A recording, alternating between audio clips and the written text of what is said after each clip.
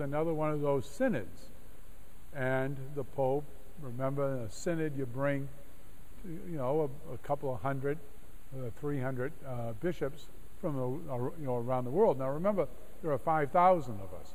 So, you know, each country only gets to send, you know, up to four, depending on the population of, of the country.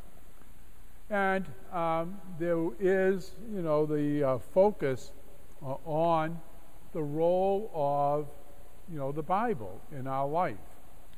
There are many different levels. I mean, Bibles, you know, people, many, many people read part of the Bible every day. And that's an important part of their spiritual life. Many people are very much committed to being part of, uh, of a faith sharing group. And oftentimes that it flows from, you know, Bible study, uh, reading a particular book of the Bible. Just, you know, just to, you know, to focus it for a moment, there are 72 books in the Bible. When you see a Bible, there are 72 different books. 45 of them are in the Old Testament, and 27 are in the New Testament. So, I mean, it, you know, there's a great variety. Some are history books, some are about evangelization, some are, are, are songs, you know, like the book of Psalms. And then, of course, you have the Gospels, which is the good news of Jesus Christ, and so on and so forth. Also, the use of the Bible in that document and in the document on the sacred liturgy, which came out of the Second Vatican Council uh, a little over 50 years ago, um, that the church now is very much teaching that the Bible needs to be, the sacred scriptures need to be an important part of our public worship. When I was a boy, you know, there was a schedule. You know, there were 52 Sundays in the year, and there was Christmas and all of that. And, and, and if you went the first Sunday of, of February, the readings would be the same this year and, and last year and next year. And, and you know, so there was not a big, a big exposure to the Bible sacred scripture, you know, the church was certainly for sacred scripture, but it was not uh, publicly uh, widely used. In the Second Vatican Council, and it was affirmed in this recent uh, synod, that the church strongly urges that the new ways of doing it, for example, now in the course of a year, we have readings on Sunday, and those readings we will not hear again until two years down the road. It's a three year cycle. So, what we had was one cycle that just kept being repeated each year, and now there are three cycles. So, there's automatically that much more, um, you know, reading and proclaiming the Word of God. On weekdays, instead of it being just one cycle for the 52 weeks around the world, the you know the weekdays now, the readings are on a two-year cycle. So what you heard today, you will not hear again until 2016. Again, in the effort to uh, enrich our lives listening to the proclamation of God's Word, the same now has happened with the celebration of the sacraments. That each one of the sacraments has uh, a number of readings that have been chosen because of they speak about the mystery of marriage, for example, or the mystery of a person being baptized, and you know, holy orders or whatever, confirmation. And that leaves it up to the, you know, the local community that we are encouraging there, looking at the readings and suggesting what readings they would like. For example, when I go to a confirmation. When I go to confirmations, before I go, we send to the parish what's called a worship guide, a planning document. And the, you know, the pastor, the DRE, they look at it, they go to the book, and they see that they have eight choices for an Old Testament reading. They have 14 choices for a, a, uh, a New Testament reading. And they might have another 18 Gospels. That gives that parish now a chance, first of all, it might be a small group, but it's a representative group to look at these different readings and see what readings, for whatever reason, resonate with that community. The value of that is then when they send in the, you know, the worship guide, the planning document, it gives us chance then for me to prepare a homily based on the readings. You know, you just don't have a, a uh, you know, a uh, homily, you know, and it's unrelated to anything. It, it, you know, it, it flows from, you know, the readings. And so you really have to get those two or three weeks ahead of time so that you can plan what you're going to uh, talk about. So the church, in its attempt to make this much more applicable and known and experienced, has really given us a great gift. Now, related to the scriptures in public worship, very much is the homily. Now, again, when I grew up, uh, we never talked about a homily. We talked about the sermon. So the first question is what's the difference between a sermon and a homily? Well, a sermon is when you, um, you know, prepare for Mass and you think about maybe what's in the readings, but maybe it's world events, or it might be a, a doctrine of the church, and the priest would, you know, prepare his homily, his sermon rather, and the sermon would come out. But there wasn't necessarily a strong connection with the scripture readings that were read.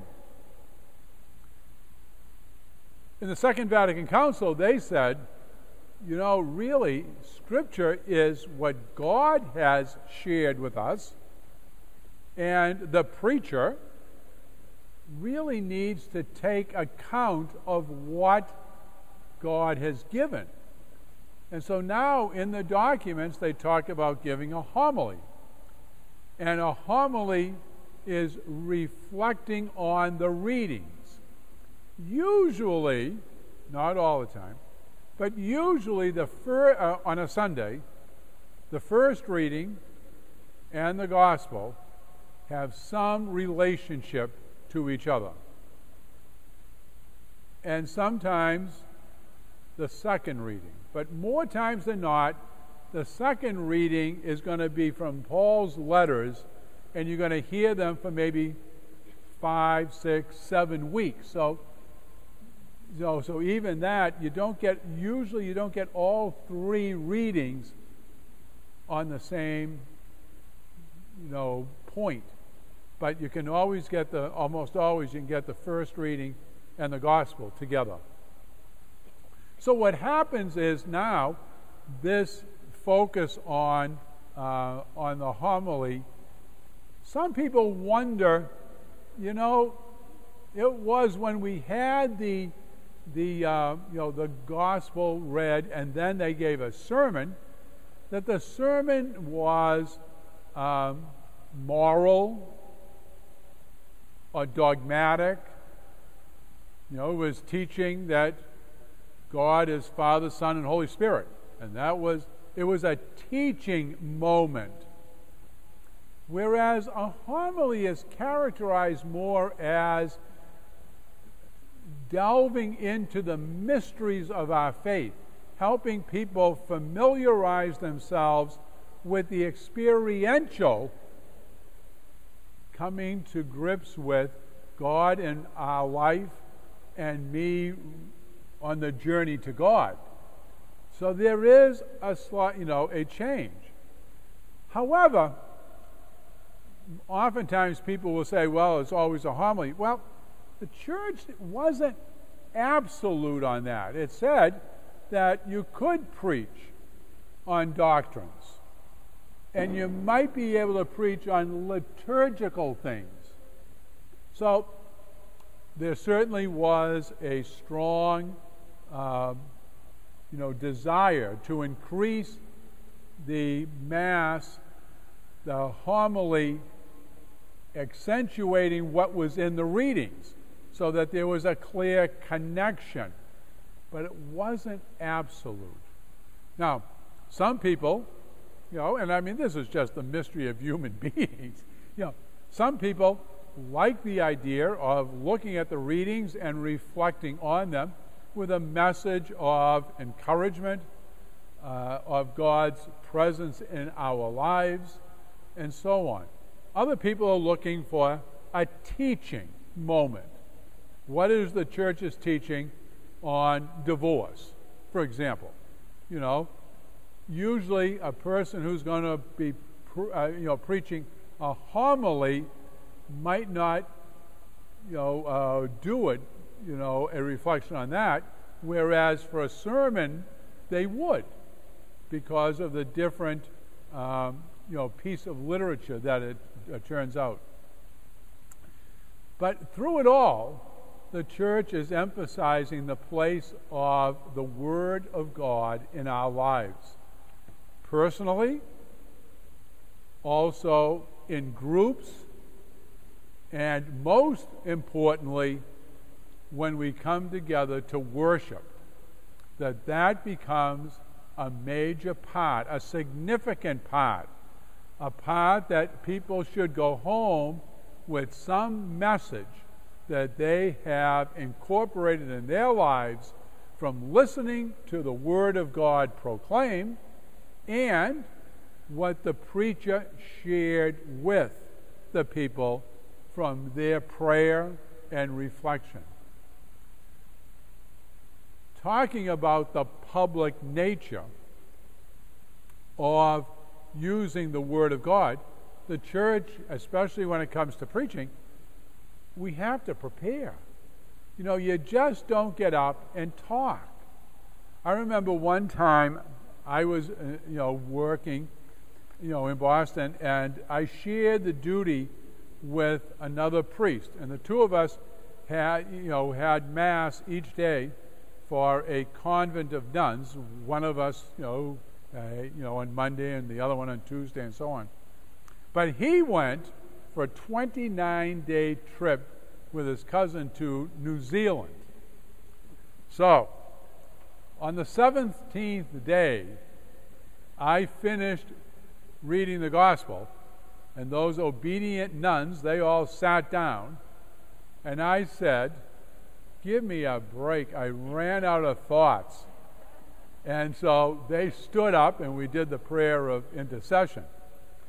But I just share that that you know that it is important so that you made the effort, you know, 16 straight days, and you got to the 17th and you said, you know, I need a day off from, uh, you know, be, you know, because you just don't get up and wing it.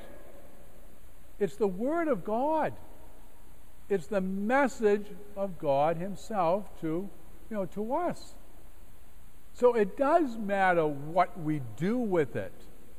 It's not just a filler It really is an opportunity, and that's why preaching is taken so seriously.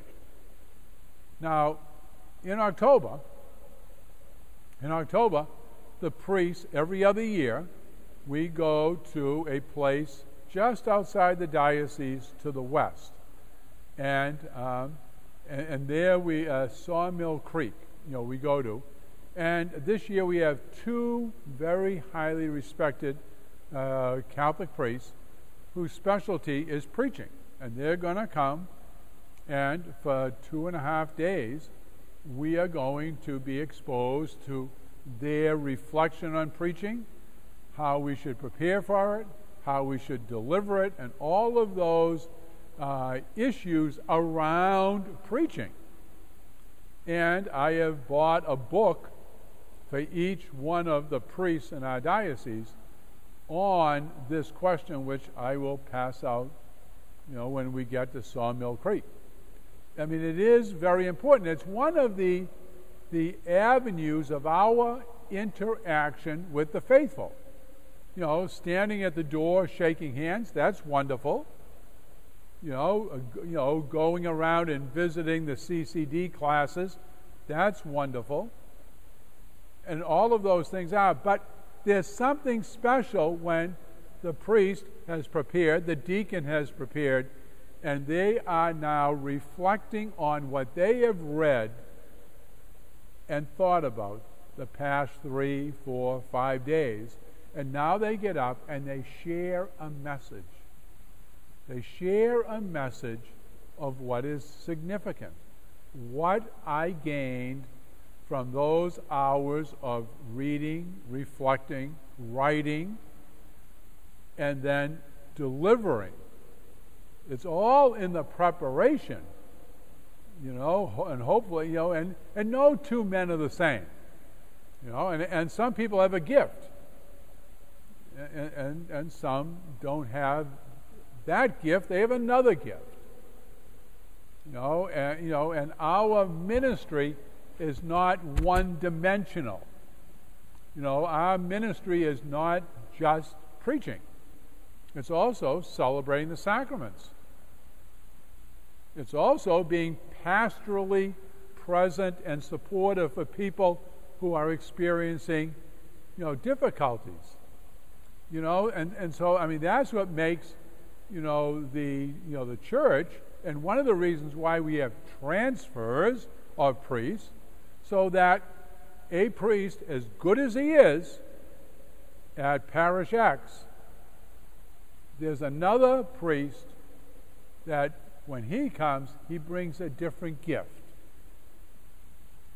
Every one of you have different gifts. And the same is true with priests. Every priest is not the same. But having transfers moves people so that it's not the same experience week after week after week. The church's desire is to enrich people, and it's called the threefold work of Jesus Christ. He was the teacher, he was the sanctifier, and he was the leader. And that's what every priest is called to do. In fact, it's really what every Catholic is supposed to do according to their particular role in their families or in the community. And so the whole idea of, of the role of, uh, of the, you know, the Word of God, certainly in the past uh, 50 years, has been elevated in the most practical way we hear more of it than we ever did before. Very practical, down to earth. The church said, We're going to give you more of it.